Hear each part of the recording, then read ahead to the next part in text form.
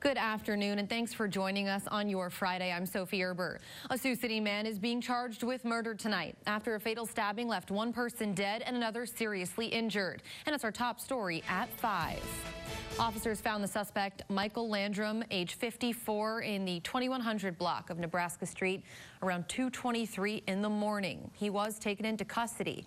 At around 12.55 Friday morning, Sioux City police were called to a home at 2103 Nebraska Street. When officers arrived, they found two victims suffering from multiple stab wounds. Both victims were taken to Mercy One Hospital.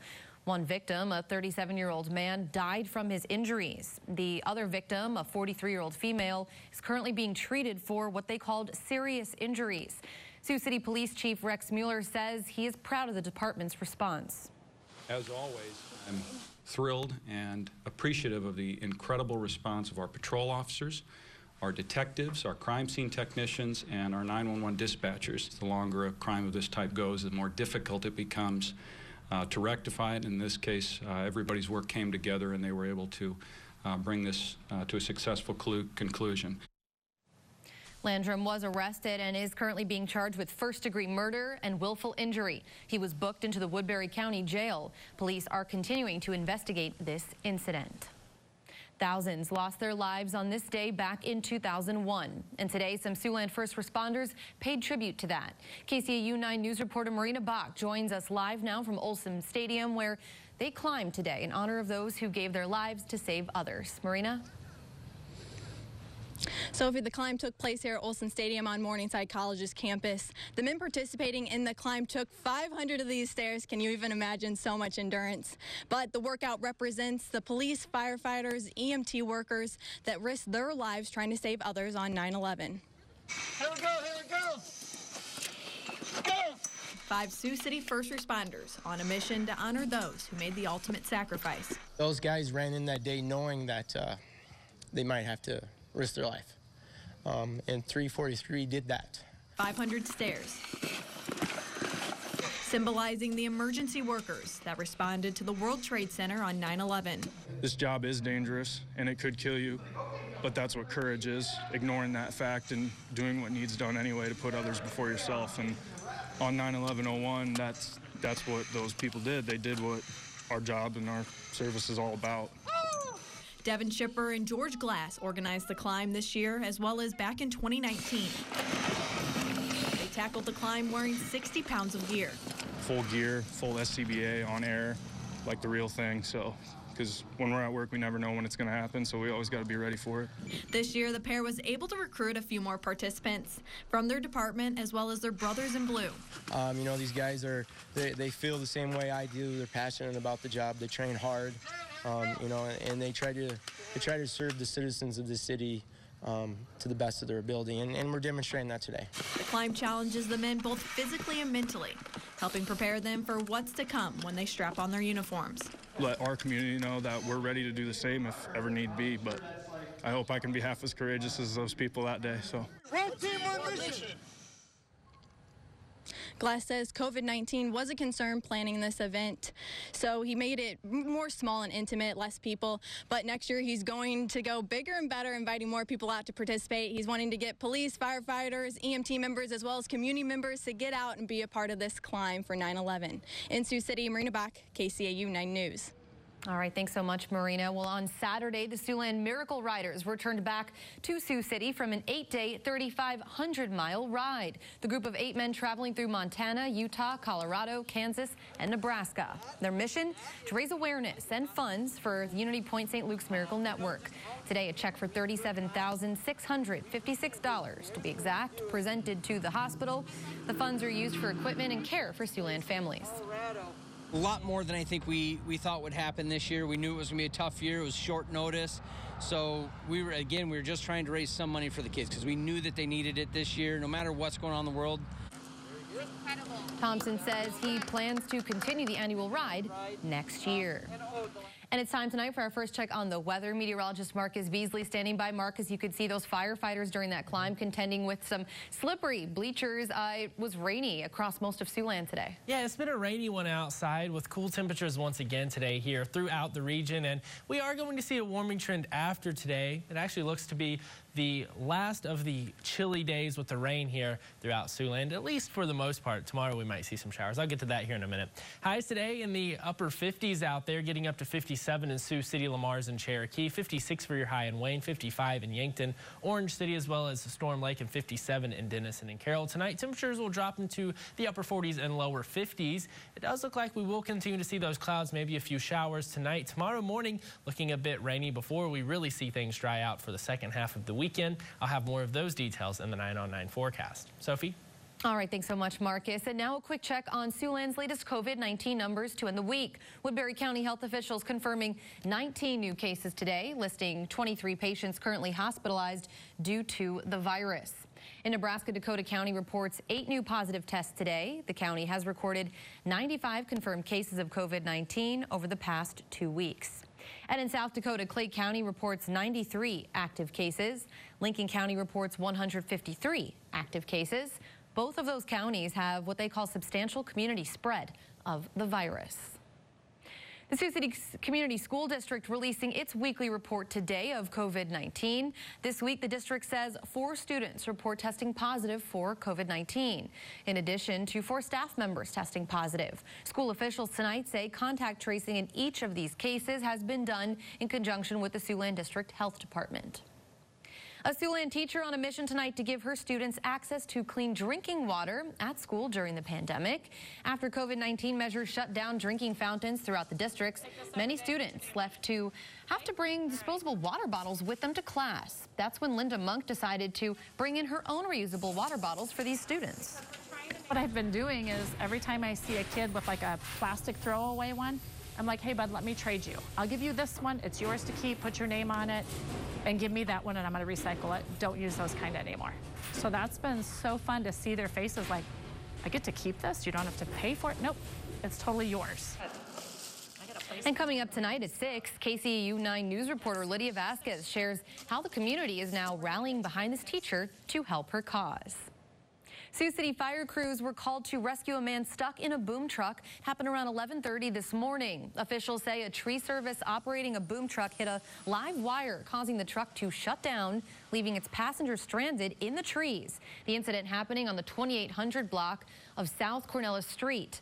Officials say MidAmerican Energy briefly shut the power down during these recovery efforts. No one was injured. Americans across the country, of course, remember the government shutdown last year, and members of Congress do not want a repeat of those events tonight. KCAU 9 Washington correspondent Basil John reports on why Congress and the administration are working well in advance.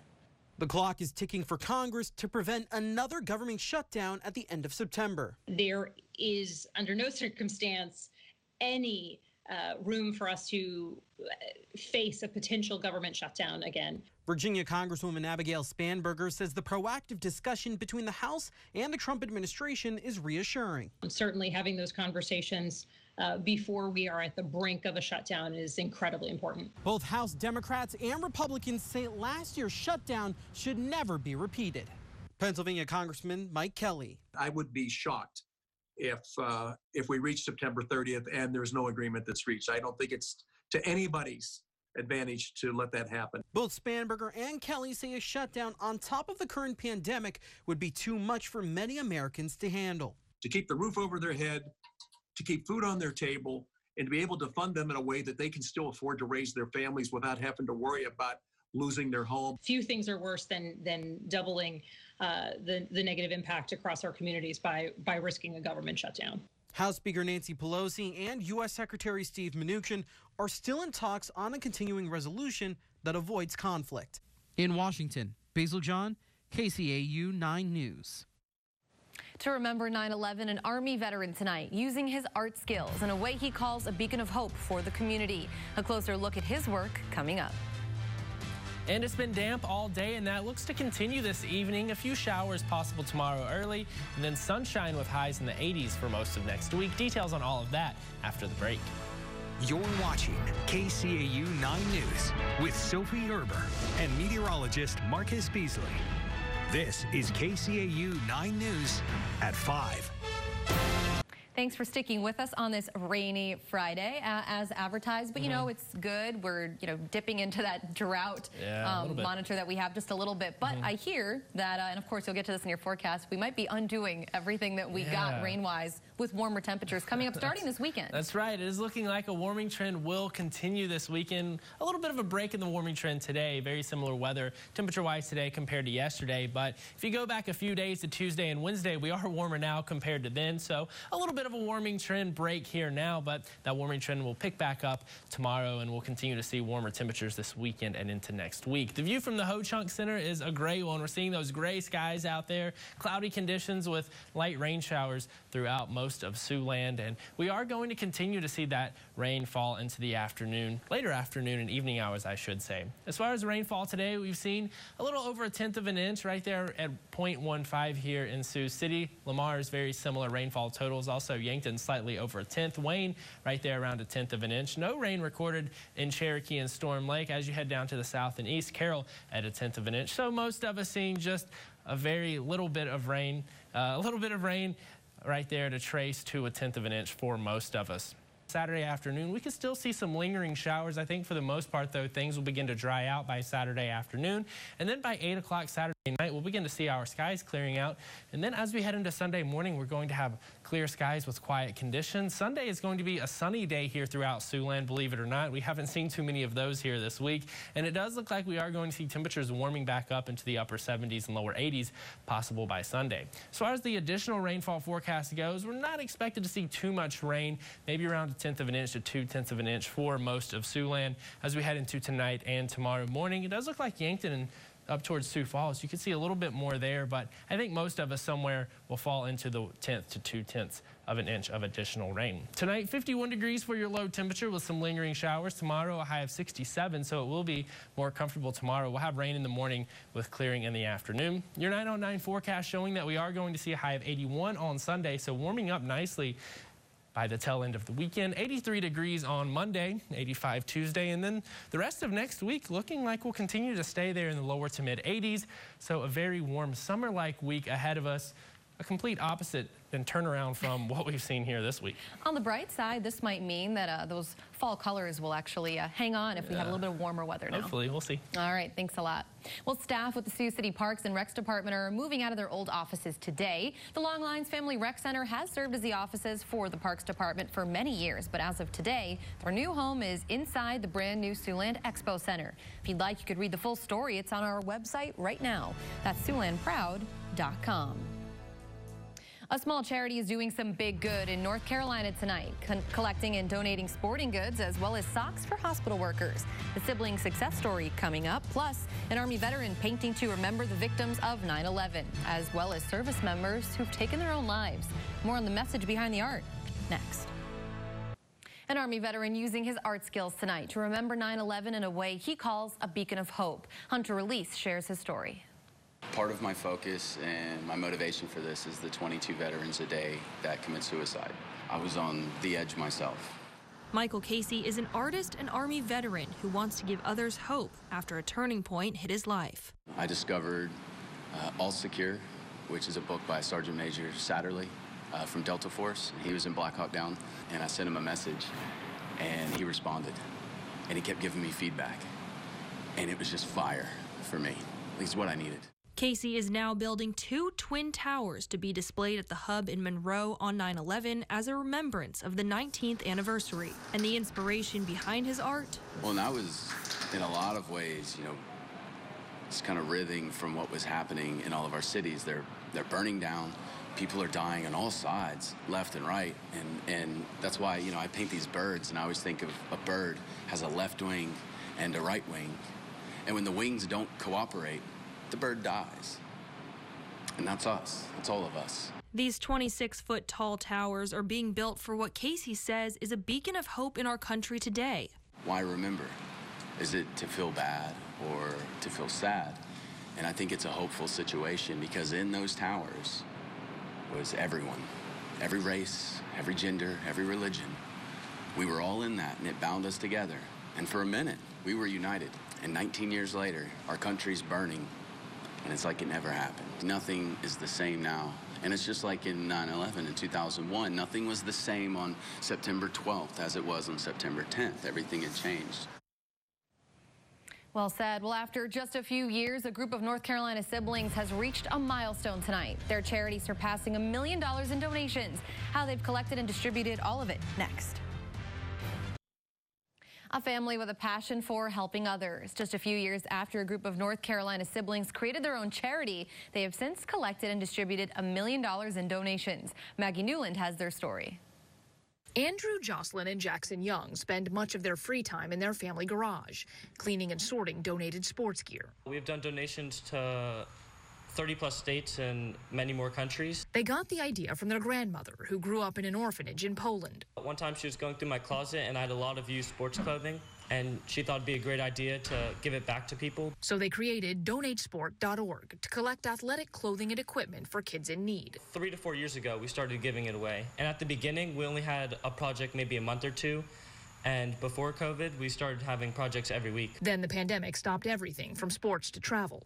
But the Young still wanted to help, so they turned their efforts to local hospitals. Well, they brought us a bountiful supply of socks and a lot of uh, uh, orthotic insoles for our shoes. Ryan Conklin is the executive chef at UNC Rex. Our team, as well as the team with environmental services, they're really on their feet all day long, some of them up to 12 hour shifts. The Young say they deliver tens of thousands of dollars worth of brand new insoles and socks to hospital workers. Uh, we've been slogging it out here since March, and then to see this kid and his father pull up, unloading boxes for our team, it was really special to see. It was really inspiring as well. It's the least we could do, giving them something small to help them out. The Youngs recently celebrated collecting and distributing a million dollars worth of donations, and they plan to keep working together to help as many people as they can. Taking a live look outside now, Marcus returns with another check on your weekend forecast coming up next. Before we wrap up here at 5, let's check in first with Tim for what's coming up at 6. He's in the newsroom. Hi, Tim. Happy Friday. Hey, good afternoon, Sophie. Quick question. When's the last time you stepped up to a water fountain? Um, well, here in the newsroom today, we have that one that kind of fills up our Yeah. bottles. But yeah, I can't remember the last time I didn't use a bottle at one. Something that doesn't happen nearly as often, especially a problem at schools these days because of COVID 19. Coming up at 6 tonight, we'll share another example of COVID crea- creativity. Find uh, out how one Siouxland teacher is working to keep kids hydrated at school, even though drinking fountains are pretty much off limits. The uh, pandemic has silenced many musicians. In fact, hundreds of shows have been canceled or postponed, some more than once. A lot of those events benefit local fire departments, sports groups, and other nonprofits. That makes the problem even worse. At 6, why some are saying it is once again time to let the music play. And since it is Friday, we'll be live out on the high school football field, Sports Zone tonight, taking a spotlight look at a game featuring two top 10 teams. We'll have that, of course, at 6. Might be a bit sloppy out there tonight. Yeah, thanks a lot, Tim. Uh, it will be sloppy, as he said, kind of a soggy Friday night lights because we've had rain all day and it doesn't look like it's really letting up right now. Right, we're seeing those light rain showers out there, and they will continue tonight on the lighter side, so it will be a muddy game. 51 degrees out there tonight. Tomorrow, we'll warm back up into the 60s with some sunshine in the afternoon. Thank you, Marcus, and thank you for joining us. Have a great weekend. I'll see you back here at 6. Good night.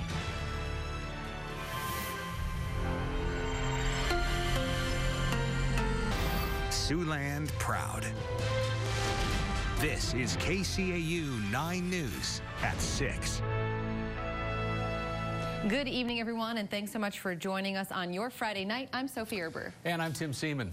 A Sioux City man is behind bars tonight following the city's second homicide of the year. And an additional victim remains in the hospital after an early morning stabbing in the 2100 block of Nebraska Street. It's our top story now at 6. Officers were dispatched to a stabbing at 2103 Nebraska Street.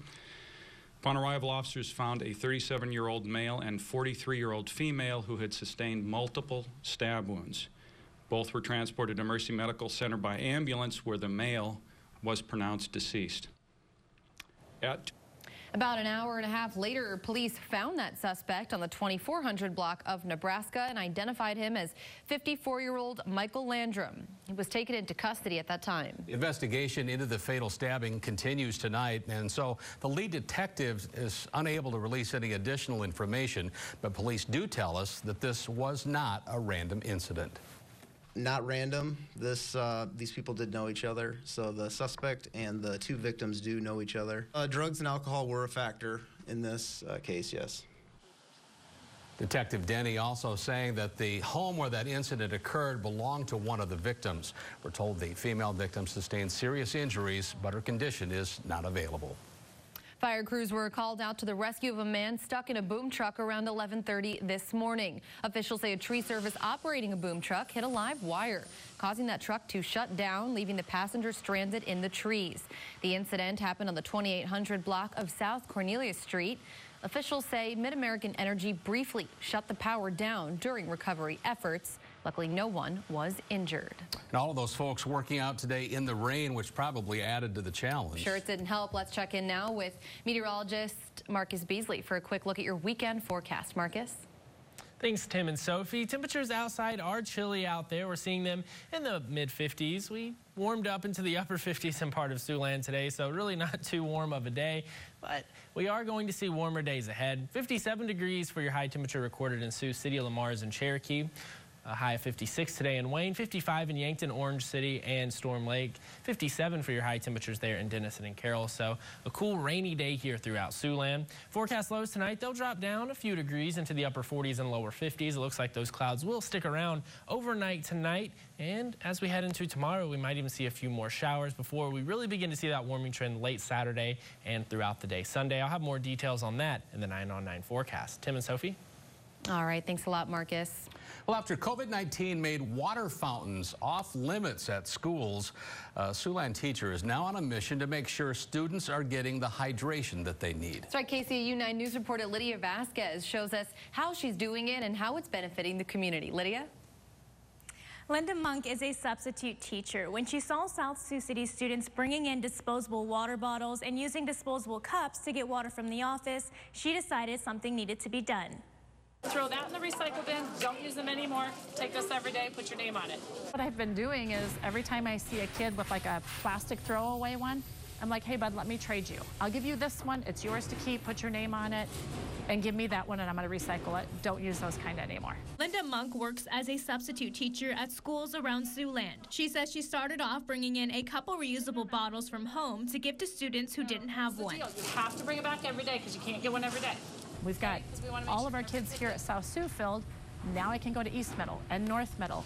And I've been reaching out to the schools around the, the communities like, do you have a need? I think I'm going to have more. That's when she decided to reach out for donations, like to Tyson Foods, who has donated 600 reusable bottles. Just from this grassroots effort by her, contacting local businesses, um, asking if they would contribute. And again, once, once again, Siouxland communities step up and they can they help. It's a fun thing. It's a fun thing to do. It's a fun thing to do for the community. Tyson, along with Security National Bank, Army National Guard, and Monk's family and friends have donated to the cause. I'm going to be known as the bottle lady, I guess, and I'm okay with that as long as it means every kid gets their own bottle to take home, wash, bring back. Monk says providing reusable bottles not only benefits the environment, but puts a smile on every student's face. That's been so fun to see their faces like, I get to keep this. You don't have to pay for it. Nope, it's totally yours. Monk says she initially hoped to get a few hundred donations. So far, she's received more, more than 2,000 reusable bottles to hand out to students. Live in the newsroom, Lydia Vasquez, KCAU 9 News. Great to see the community coming together. Thanks, Lydia. Well, meanwhile, the Sioux City Community School District's weekly coronavirus report shows limited exposure in the district this week. According to information released today, four students and four staff members have tested positive after attending school this past week. Sioux City schools are sharing virus-related updates each Friday. Just yesterday, the district announced that a second grade class at Nodland Elementary is now on emergency response virtual learning after students either tested positive there or experienced symptoms of that virus. Here's a quick check tonight on the updated COVID numbers from here in Siouxland.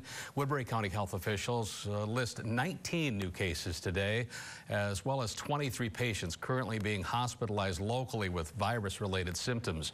As a state, Iowa now reports nearly 73,000 total cases of the virus. In Nebraska, Dakota County reports eight new positive tests today. The county has recorded 95 confirmed cases of COVID-19 over the past two weeks.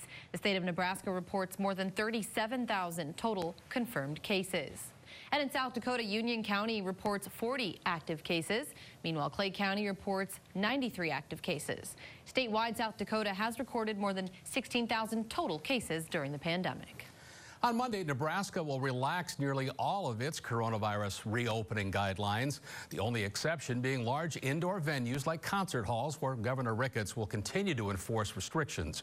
Under phase four of Nebraska's reopening plan, businesses once again will be able to welcome unlimited guests, but not all will. At the Norm Waitt Junior YMCA in South Sioux City, administrators have made the decision to remain at their own phase three level. Guests will continue to be given health screenings, including temperature checks. Several activity areas will continue to be limited to smaller groups, but workers at the Y don't see that as a problem. Nothing is going to really change for us right now, and if we were to uh, change or should modify anything that we're already doing, it would be a board decision for us. I think the most important thing is that um, not so much the capacity because we're still we're honoring the six foot social distancing. We have uh, everyone is required to wear a mask in all common areas in our building. Horton says deep cleaning in the building also will continue on a daily basis. As of next Monday, only Lancaster County, home of the University of Nebraska-Lincoln, will not be at phase four of reopenings. 27 counties actually went to phase four back on August 26th. And back in Sioux City, first responders paying tribute to the men and women who lost their lives today on 9-11. Four men tackled 500 stairs at Olson Stadium in remembrance of the police, fire, and EMT members that lost their lives at the World Trade Center that day. Two Sioux City Fire and Rescue members wore their gear that weighs about 60 pounds. The participants say it challenges them both physically and mentally, but it helps prepare them too to be the best they can while serving our community. Every day that I come into work, um, it's not a game. Um, I love what I do. My family's only before it. Um, I just try to make sure that those people that have come before me, um, that I do a good job. I do adjust for them. Glass also says he hopes to continue this tradition next year. He wants to extend it and extend an invite to more first responders as well as community members next time. Well, Siouxland Miracle Riders returning today, uh, uh, returned uh, over the weekend, I should say, here in Sioux City after an eight-day, 3,500 mile ride in support of kids. Those riders today handing off a check for more than $37,000 to the hospital. Those funds go toward equipment and care for Siouxland families.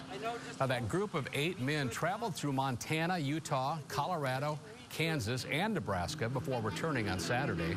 During that ride, the group raising awareness and financing support for Unity Point St. Luke's Miracle Network.